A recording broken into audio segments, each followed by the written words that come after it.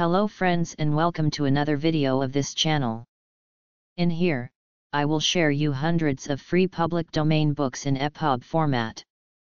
Please thumbs up and subscribe. A Christmas Carol is a play about a mean-spirited and selfish old man, Ebenezer Scrooge, who hates Christmas. One cold Christmas Eve, Scrooge is unkind to the people who work for him, then refuses to give to charity, and then is rude to his nephew when he invites him to spend Christmas with him.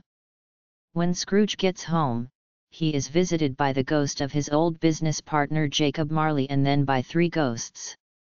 They are the ghosts of Christmas past, Christmas present and Christmas future.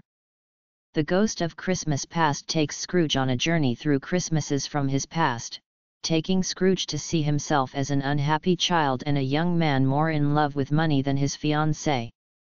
The Ghost of Christmas Present shows Scrooge his clerk, Bob Cratchit's family.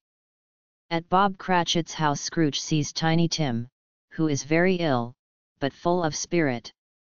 The ghost then takes him to see his nephew Fred's Christmas celebrations, which he had been invited to, but rebuffed. Finally, the ghost of Christmas future terrifies Scrooge by showing him visions of his own death. The ghost's journey through time teaches Scrooge the error of his ways. When he wakes up on Christmas Day he is full of excitement, and buys the biggest turkey in the shop for the Cratchit family before spending the day with his nephew, full of the joys of Christmas.